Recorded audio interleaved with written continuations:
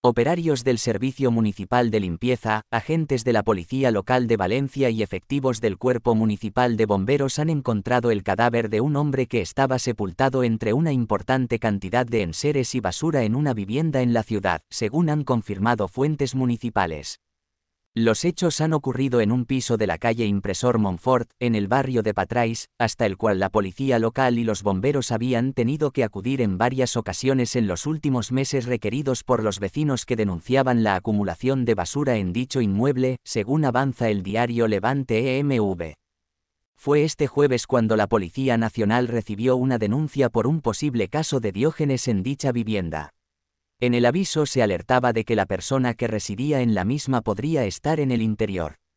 Por ello, se solicitó la colaboración de la policía local que esa misma tarde se personó, junto con bomberos, en el lugar, han informado las mismas fuentes.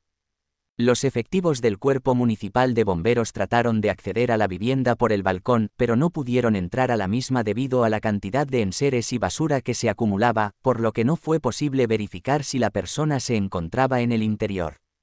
Ante esta situación, la policía local solicitó al juzgado una orden para que les fuera autorizada la entrada y la posterior limpieza de la vivienda.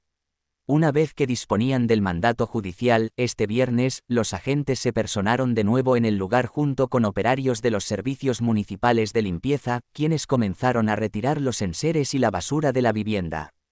En un momento dado durante estos trabajos, en los que en todo momento los operarios estuvieron acompañados por agentes de la policía local, encontraron el cadáver del hombre sepultado entre los residuos.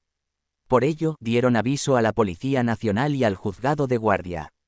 En total, los trabajadores municipales de limpieza han retirado unos 800 kilos entre muebles, enseres y basura de la citada vivienda, han detallado las mismas fuentes. No te olvides de suscribirte, dejar tu like y activar la campanita en tu canal Social J. Muchas gracias por tu visita y recuerda que si quieres estar al día de todas las noticias, incluido series y telenovelas, este es tu canal Social J.